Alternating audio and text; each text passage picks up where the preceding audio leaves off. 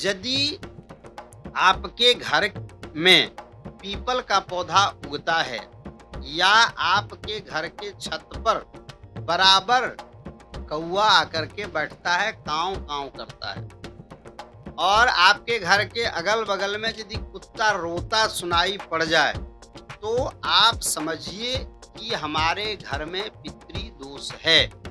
यदि आपके घर का तुलसी का पौधा एक बैग सूख जाए। वह हरा भरा है, लेकिन एक, एकदम मर जाए, सूख जाए।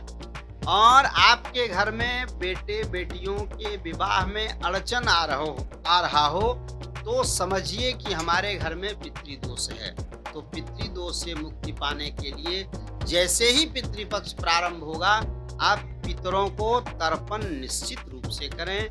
और जलाशय या नदी यदि आपके बगल में हो तो नदी में बैठ करके अपने पितरों का नाम गोत्र का उच्चारण करें और जल के साथ तिल मिलाएँ और अपने पितरों का तर्पण करें। तर्पण करते समय कुश अवश्य धारण करें। कुश और गंगा की मिट्टी निश्चित रूप से धारण करके आप पितरों का तर्पण करें। आपको पितृदोष से निश्चित रूप से मुक्ति मिलेगी।